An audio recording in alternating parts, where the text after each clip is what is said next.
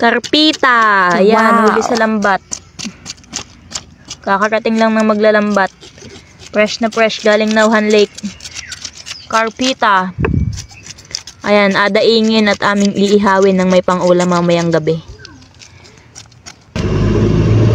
Ayan. Garni ang pagdaing dini sa amin. Ayan, oh. Galing namang magdaing na rin, oh. Galing yarn. Mahirap nga lang aring daingin. Eh, putik, may alon. Kasi malaki. Tapos matigas yung mga tinik. Kaya dapat matalas talaga yung inyong kutsilyo. Ayan, oh. Matakot. Nako, tadahan-dahan. Mahirap din eh, ay yung ulo. Aray, may itlog, oh.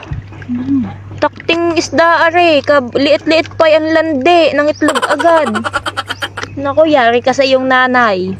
Kaya siguro ikay nagpahuli na yan, ano, at ikay nabuntes. Mas Mariosip na isda, are. Yan, narapat lang yan sa iyo.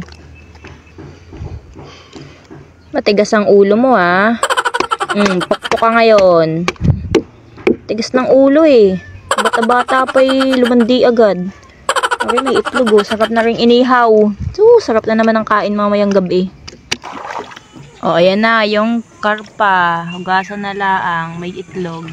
Mm. Nakakaalam, nakakalas yung itlog. Tingin. Mm, Yan na. Lagyan na lang ng asin, tas iihawin na.